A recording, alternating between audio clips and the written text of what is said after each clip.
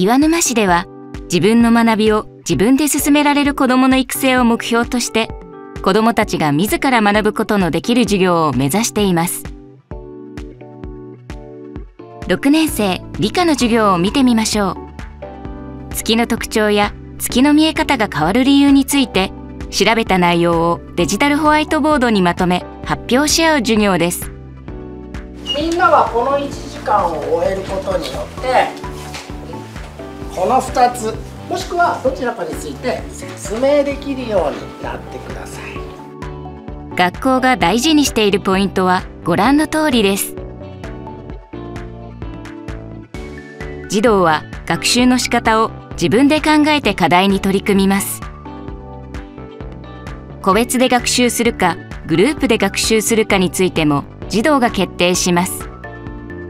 教科書や動画インターネットなど何から情報収集するかも児童自ら判断します。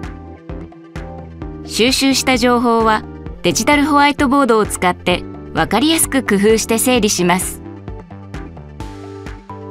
えー、ジャムボードを活用することによって自分の調べたことをキーワード化する。そしてキーワード化されたものを言葉でつないでいくっていうことは本当に自分の考えを言語化するのにすごくいいアプリケーションなので、えー、活用しています。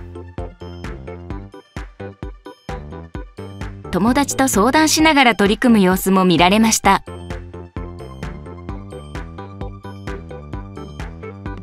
ジャムボードを共同編集にしたことによってやはり編集しながら友達のものが参照できる他者参照っていうのを意識しながら、えー、活動できるように教材を選定しました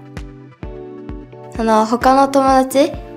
のまとめ方とかその勉強の内容の表し方表現の仕方などが知れるからちょっと見るのも勉強の一つだなって思いました。今までだとその自分のやり方でしか表現することができなかったと思うのですがやはり友達のものをクラウドによって簡単に参照することができるってことは自分の表現力がまず上がること。そしてうん友達の表現の中でいいものを自分のものにすればそれが本当に自分のオリジナリティにえー、どんどん積み重なっていくものになると思うのでうんその辺がすごくそのクラウドにまとめることの良さなんじゃないかなと思っております。月の見え方が変わる理由は？まとめたスライドを友達に発表します。友達の発表を聞きながら自分のまとめた資料を修正します他の人の意見を聞いて自分のジャムボードに付け加えをして自分の知識を深めるのが楽しかったです。